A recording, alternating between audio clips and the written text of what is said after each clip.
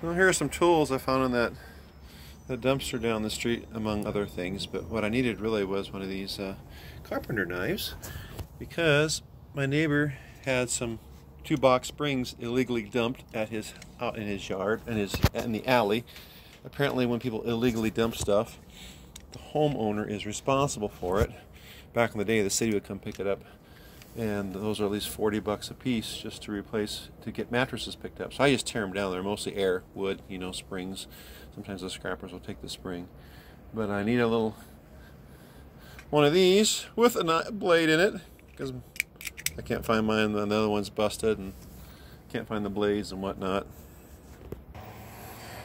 And i can always use work gloves. Find a bunch of those and always use rakes and hoes and brooms.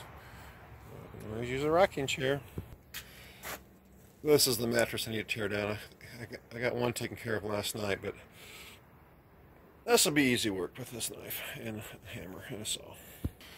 While I'm showing you stuff, this is a nice Craftsman Gold Edition lawnmower that had a leaky carburetor on it.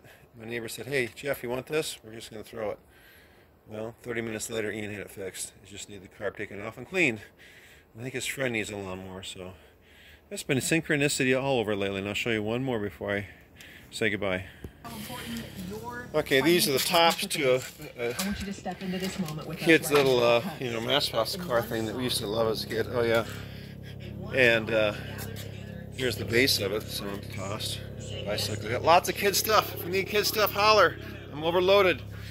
Anyway, uh, these corners are kind of weak. I just need to cut some little two by fours.